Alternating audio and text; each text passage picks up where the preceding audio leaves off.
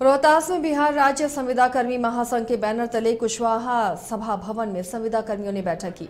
बैठक में सेवा स्थायी और वेतनमान लागू करने की मांग को लेकर आंदोलन करने की रणनीति बनाई गई। इस मौके पर प्रदेश अध्यक्ष दिलीप कुमार सजाप ने बताया कि 24 अप्रैल को बिहार के सभी जिला मुख्यालयों में विशाल रैली निकाली जाएगी सोसाइटी के मूल संरक्षक है ज्ञानेंद्र के ज्ञानी जी अन्य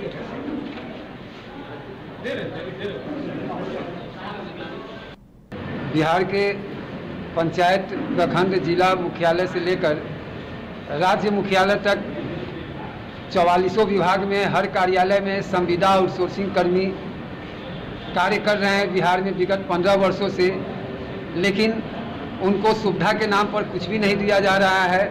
उनका दिन रात शोषण किया जाता है। मानदेय भी इतना नहीं है। कि उनका और उनके बच्चों का उनके परिवार के अन्य लोगों का शिक्षा और चिकित्सा और भोजन की भी पूर्ति सही तरीके से हो, हो सके। भविष्य की कोई गारंटी नहीं है किसी प्रकार की सामाजिक सुरक्षा नहीं है किसी भी प्रकार की भविष्य की कोई चिंता किए बगैर बिहार के लाखों युवाओं को अंधकारी भरे जीवन में धकेल दिया गया है।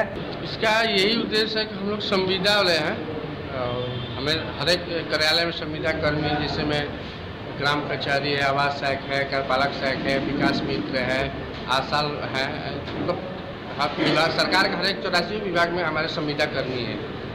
और हम लोग को 2011 से ही बढ़ाया जा रहा है कि आप लोग को हम लोग अस्थायी करेंगे, ये करेंगे, वेतन मान करेंगे, और आप लोग को सारी सरकारी सुविधा दी जाएगी।